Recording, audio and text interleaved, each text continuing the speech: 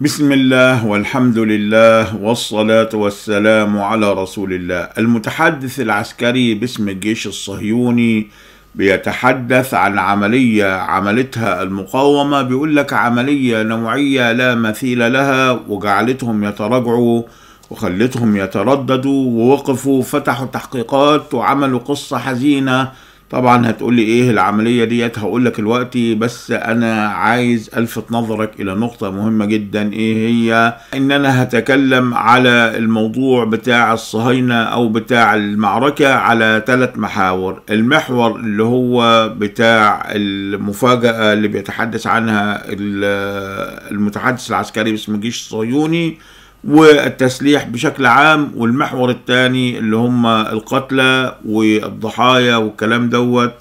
والمحور الثالث بقى يا أبو الشباب هو الغزو الفكري اللي أمريكا معرضة ليه. أنا دائما لا أتكلم معك عن الأسلحة والأمور ديت غير لما تظهر على أرض الواقع. ويكون ليها تأثير استراتيجي. خد بالك لو سمحت يكون ليها إيه؟ تأثير استراتيجي. يعني هتغير فعلا مسار المعركة ومفاجأة سيئة جدا للعدو. ده اللي حصل. وأبو عبيدة على فكرة كان بيقول لهم على انتظروا المفاجآت. وفعلا دي كانت واحدة من المفاجآت السيئة جدا بالنسبة للصهاينة. وعرقلت الهجوم البري بتاعهم بتاع الصهاينة وخلتهم هربوا وتراجعوا. وبعد ذلك بيقول لك إحنا فاتحين تحقيق وبعد ذلك بيطلع المتحدث باسم الجيش الصهيوني بيقول لك عملية لا مثيل لها من قبل. إيه هي العملية دي؟ والمتحدث ده بيتكلم بالشكل هذا وبيعترف لماذا؟ الأمور دي هنناقشها مع بعضينا مع بعض الأمور التانية. فركز معايا واسمع الفيديو للآخر. وجزاكم الله خيرا وما تنامش مني. الكل يتآمر علي. الكل يتآمر علي. الكل يتآمر علي. الكل يتآمر علي. في البداية لو سمحت تابعني على التيك توك هتلاقي الرابط بتاع الصفحة أسفل الفيديو. وفي كمان الرابط بتاع قائمة التشغيل بتاع طوفان الأقصى هتلاقيها برضو أسفل الفيديو في تعليق مثبت تقدر تشوف الفيديوهات القديمة والحديثة عن الموضوع ده. عايز أقول لك بقى على واحدة في منتهى الوقاحة وحاجة لا تخطر لك على بال حصلة في موضوع آه الحرب على غزة ديت. إيه هي الحاجة ديت؟ تخيل أنت كده في match box أو في ماتش مصارعة في واحد خصم من الخصوم دوت يا أبو الشباب متغلب على خصمه بشكل كبير. وضربه ومكسر ومطلع عينه ومشرر دم والمهزوم وهو واقع على الأرض وعمال ينزف دم. والتاني واقف بقوة وواقف بعزة كأنه من رجال غزة. وبعد كده يجي اللي مضروب واللي مطحون وكذا والتاني واقف لسه بقوته. يقول المطحون ده يقول للي واقف على رجليه يقول له إيه؟ يقول له خلاص بقى استسلم عشان أنا لو أنت استسلمت أنا ممكن أسيبك وأسامحك. مش هينفع طبعا. طب أنا بديك المثال ده ليه؟ لأنه الوقت من الاقتراحات الأمريكية الصهيونية إن هم يخرجوا المقاتلين بتوع حماس من غزة زي ما عملوا قبل كده في فتح أبو عمار زمان اللي فاكر في ال 82 يخرجوا إزاي؟ منتصرين. ناس منتصرة ناس بتفرض الواقع بالقوة ناس مدياكم بالجزمة يخرج إزاي؟ أصلا اللي خرجوا زمان أيام فتح أبو عمار خرجوا بخيانته هو فتح هو ياسر عرفات نفسه وخرجوا خيانة القيادة دي كانوا قادرين إن هم يصمدوا وكانوا قادرين يعملوا حاجات كتير قصة بقى مش عايز أخش فيها.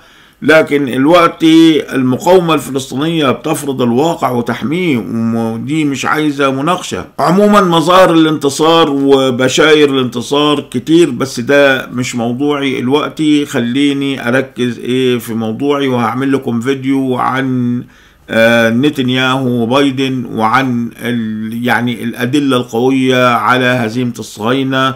لكن ركز معايا دلوقتي في الموضوع الأساسي وانتظر الفيديو القادم. وخلينا بقى ننتقل الوقت إيه للعملية اللي تحدثوا عنها والتطورات الأخرانية. والحرب على فكرة مش عسكرية بس ده في الحرب على ثلاث مستويات على المستوى الاقتصادي وعلى المستوى العسكري وحرب الغزو الفكري يا أبو الأبطال كمان بيهدد الولايات المتحدة الأمريكية برضو بسبب طوفان الأقصى القصة فعلا صعبة جدا عليهم وهيضطروا زي ما قلت لك إن هم يلموا الموضوع بسرعة لكن الغرب دايما لما بيتهزم بيحاول بقدر الإمكان وغالبا بينجح في المحاولة بتاعته بيحاول إن هو صورته ما تتهزش. يعني برضه يطلع مهزوم ومضروب بالجزمة بس باحترامه برضه يعني ما يعملش زي البغال حكام العرب كده يتضرب بالجزمة ويتهزق ويمشي. لا يتهزق وكل حاجة في السر لكن أما يخرج يعني يخرج بكرامته عشان صورته قدام الشعوب بتاعته. ده اللي بيعملوه.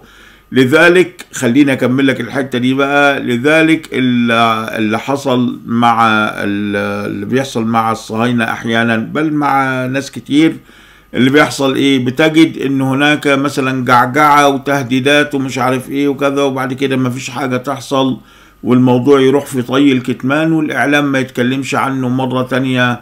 السبب إيه؟ السبب إنه القوي الطرف القوي حقق اللي هو عايزه في غرف المخابرات المظلمة والطرف الضعيف اكتفى بإن هو يعني يحصل عليه تستر إعلامي وخلاص على كده. وخليني بقى أقول لك على عملية يا أبو الشباب هو ضرب فخر الصناعة الصهيونية أو الأمريكية مدرعة اسمها النمر والمدرعة ديت خطورتها فين؟ خطورتها في إن إسرائيل كانت معولة على إن هذه المدرعة لن تتأثر وإن هم يستعملوها في نقل الجنود والإمداد والأمور ديت. من وإلى الخطوط الأمامية يعني من الخلفية للأمامية والعكس بالعكس. وبعد ذلك يا أبو الشباب فوجئوا لما المدرعة نزلت يا أبو الأبطال انضربت وفعلا راحت أشلاء. وبعد ذلك هم قاعدين يعني مصدومين. يعني هم أصلا معولين عليها هي ديت. فجايين الوقت مصدومين ومش عارفين يتصرفوا إزاي. وقاتلة كتير وقع في صفوفهم. يعني هم على فكرة بمناسبة القتلى هكلمك عليها بعدين عشان ما طلعش من الموضوع.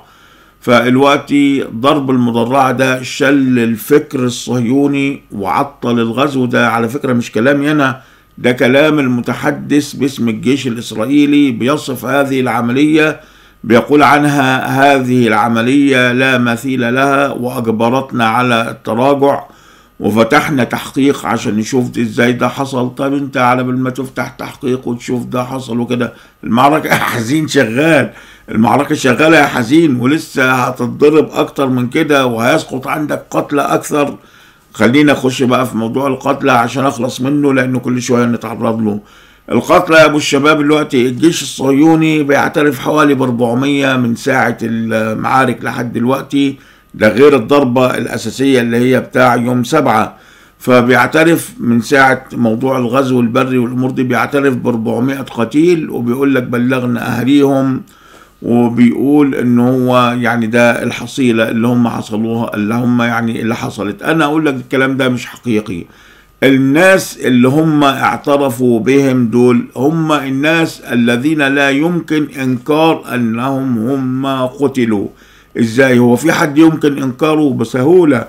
ركز معايا عشان أشرح لك النقطة ديت وما تنامش مني. في الجيش اللي زي الجيش الصهيوني أو حتى الأمريكي بيبقى فيه كل مجند له الملف بتاعه. فإيه اللي بيحصل؟ أول شيء الأمريكان أو الصهاينة عموما بيصدروا المرتزقة في البداية والمرتزقة دول بيسقط منهم قتلى بشكل لا يخطر لك على بال.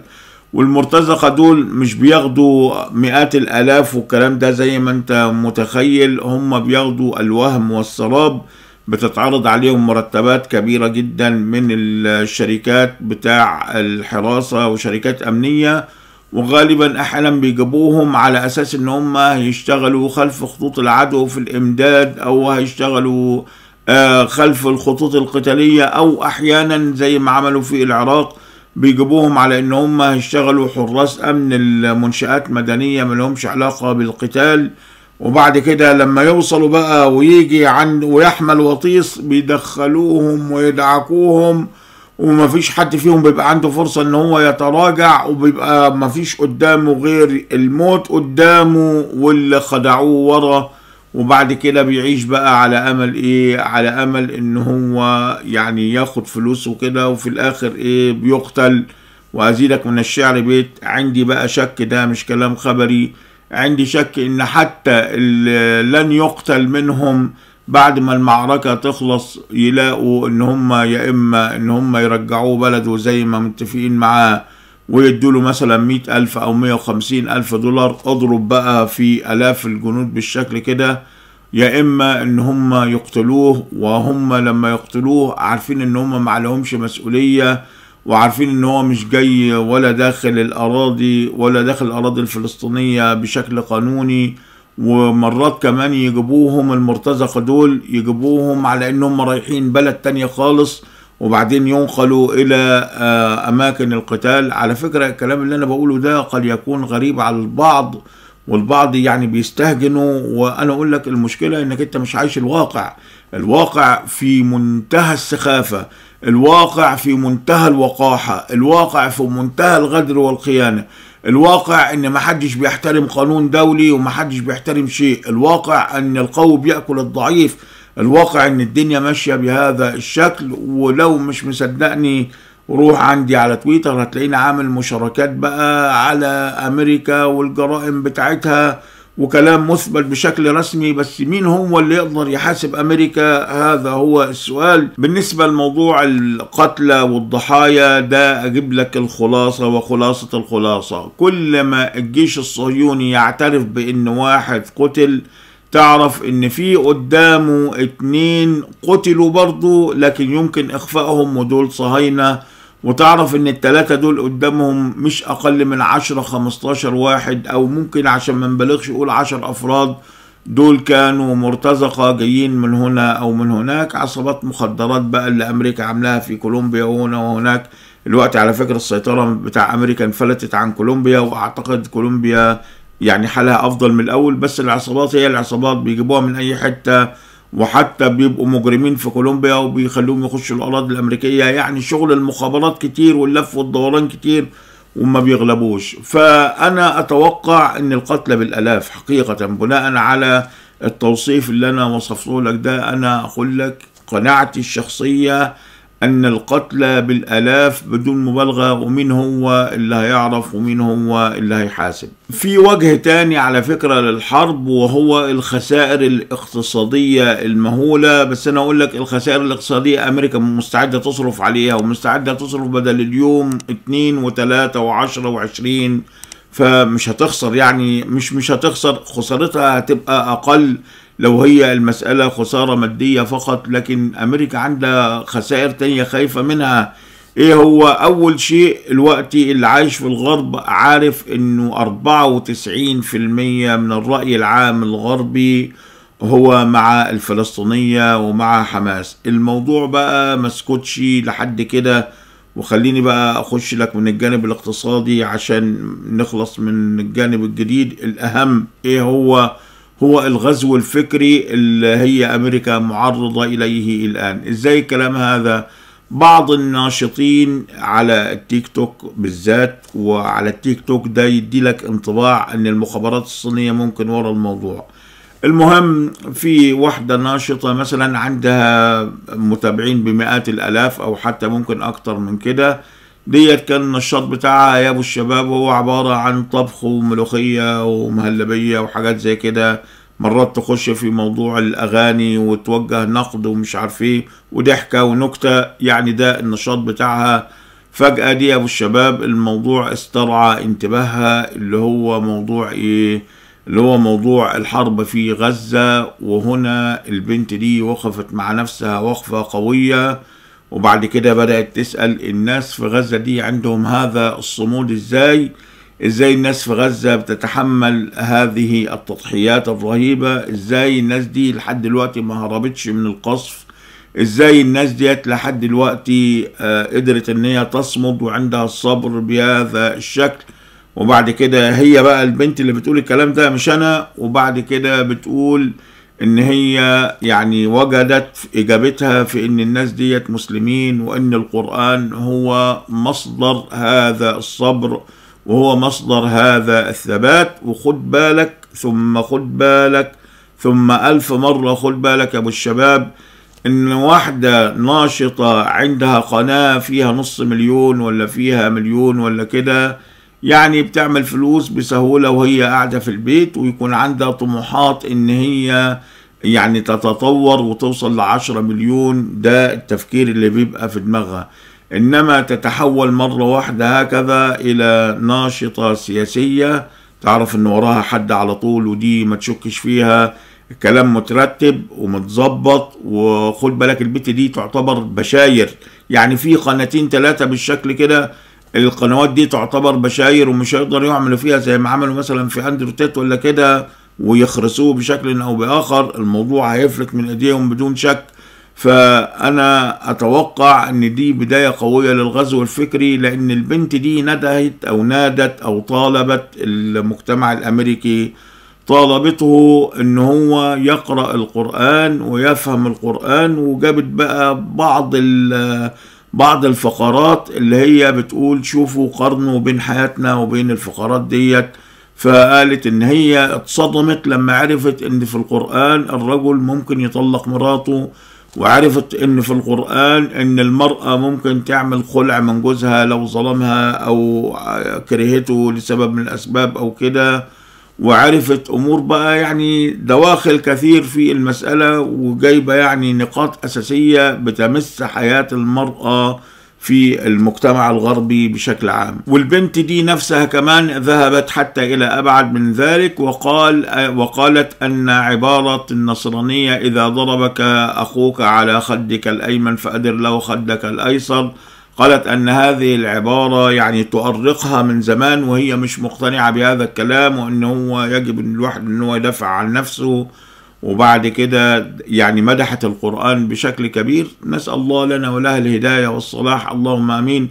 بس أنا أتوقع أنه حتى لو واحدة المشاعر البشرية حركتها والفطرة البشرية حركتها والفطرة البشرية والمشاعر ديت في أي واحد على سطح الكرة الأرضية مهما كان مجرم. لذلك المجرم بيحاول يتخلص من المشاعر عن طريق إن هو بيدوله حقن وبيدوله خمور وبيدوله مخدرات وبيفضل عايش في تايه في حياته بالشكل ده. لأنه مهما أتقن الجريمة ومهما استمر فيها بيجي بعد كده عايز بقى حاجة تخدر ضميره وتخدر الوخز والأرق اللي ضميره بيعملوه له دوت مهما كان مجرم ابو الابطال فعشان كده تلاقيهم ما يستغنوش عن الحشيش ما بيحاربوش ما يستغنوش عن المخدرات ما يستغنوش عن الخمور ما يستغنوش عن الأمور هذه. خلينا أرجع للب القضية إن أنا عايز أقول لك إن البنت دي طبعا عندها مشاعر زي كل البشر لكن لما مشاعرها تستفزها مش هتعمل ردة الفعل ديت لأنها هتخاف على القناة بتاعتها وهتخاف على مستقبلها وعايشة في أمريكا طبعا وشايفة مجتمع الإجرام هناك وكده وهتخاف على حاجات كتير فبدون شك إن البنت دي عندها يعني عندها من يدعمها بل ربما كمان من يحميها لأن أنا قلت لكم قبل كده إن أمريكا نفسها منقسمة وقلت لكم أمريكا ثلاث أقسام وقلت لكم إن أمريكا فيها 300 ميليشيا مسلحة هناك وقلت لكم إن أمريكا أمراء حرب وقلت لكم حاجات كتير عن أمريكا فكل الأمور دي لازم إيه إنك أنت تاخدها إيه في اعتبارك. فالغزو الفكري والحرب الفكرية إن كانت بدأت بقناة أو باتنين أو بتلاتة ده معناها إنذار قوي جدا للأمريكان إنكم أنتوا لو ما تراجعتوش اللي هيحصل إنه هيجي لكم الغزو الفكري لحد عندكم ومش هتقدروا تسيطروا على الأمور. وإسرائيل اللي أنتم بتدلعوها من سبعين سنة ولا خمسة وسبعين سنة في مهب الريح الوقتي واتفضحت فضيحة كبيرة وكذب الإعلام بتاعكم ظهر والناس مش هتثق فيكم وكده. وأكتر شيء يرعب أي حكومة غربية هو المجتمع الداخلي بتاعها. لأن المجتمع الداخلي في أي بلد غربي الوقتي هم متع... المجتمع يعني أفراد المجتمع متعودين على الحرية متعودين على النقاش ومتعودين إن هم يسمعوا كلام منطقي حتى لو كان كذب بس يكون كلام فيه تزيين وفيه منطق وكده وما يخلوش حد بقى يسمع الرأي التاني لأنه عارفين إن الرأي التاني هيفضحهم وكده فدايما يسمعوا يسمعوا الناس في الداخل الصوت الواحد وكده فالمجتمع الداخلي متسيطر عليه. الوقت هيحصل فيه انفلات. فأنا زي ما قلت لكم في فيديو قبل كده إن أمريكا تسيطر على المجتمع الداخلي بطريقتين. في بلاد العرب تسيطر عن طريق العصاية والسجون والمعتقلات والبغال العرب أو البغال حكام العرب يضربوا الرعية ويقتلوا المصلحين ويخوفوا الصالحين ويخلوا الناس عايشة بقى إيه في فوضى عارمة. أما في بلادهم ما يقدروش يعملوا الحكاية دي وحتى إن قرروا إن هم يعملوها ويرجعوا بقى لأيام زمان حرب الثلاثين عام وحرب البروتستانت والكاثوليك والأرثوذكس ومش عارف إيه والكلام ده ويخشوا في الأمور دي. المجتمع الآن في الداخل مش صالح للموضوع ده. المجتمع في أوروبا الوقت علماني ويرفض الأديان ويرى أن الأديان هي سبب الحروب في التاريخ. والسبب في كل التكوين ده هو أنه آه الغرب هو اللي ربى شعوبه على هذا الأمر. فعشان هو يرجع ينقض هذا الموضوع ما ينفعش ينقضه في يوم ولا في سنة ولا حتى في عشر سنين. ده عايز على الأقل في أحسن الأحوال لو لو يعني اشتغل بجدية كبيرة ومحدش عكسه من الناحية التانية والظروف كانت ماشية معاه عايز له أقل حاجة عشرين سنة. ولو بقى في حد يعكسه وفي حد يقول له الكلام المضاد فمش هيقدر أصلا يعمل الموضوع والعمله عايز له سبعين تمانين سنة مثلا أو كده وأزيدك من الشعر بيت المواقع التواصل الاجتماعي خرب بيتهم وعاملين كده يعني كارثة في حقيقة الأمر. الكارثة اللي هم واقعين فيها في مواقع التواصل الاجتماعي إن هم من الناحية ال physically يعني عمليا أو يعني بشكل physically يقدروا يغلقوا مواقع التواصل الاجتماعي كلها. لكن لو عملوا الحتة ديت هيفسحوا المجال للصين وللروس إن هم يحتلوا مواقع التواصل الاجتماعي وبالتالي ينقلب السحر على الساحر فأصبحوا يعني عملوا كارثة عشان يسيطروا بيها على العالم فانقلبت عليهم هم وأصبحوا إن هم بيتضربوا بهذه العصاية. طبعا في غرف المخابرات المظلمة المفاوضات شغالة لا تتوقف وعايزين يوصلوا لحلول وكده. بس أنا أعتقد إن صدام الأمن القومي الغربي والأمريكي الغربي ضد الأمن القومي الروسي الصيني مش هيقدروا إن هم يتوصلوا إلى حل وسط لكن ممكن يتوصلوا إلى حل يؤجل المواجهة فقط مش أكتر من كده. في نهاية الفيديو يا جماعة بقول لكم إن شاء الله رب سبحانه وتعالى يدبر الأمور والنصر يلوح في الأفق ولنا لقاء والسلام عليكم.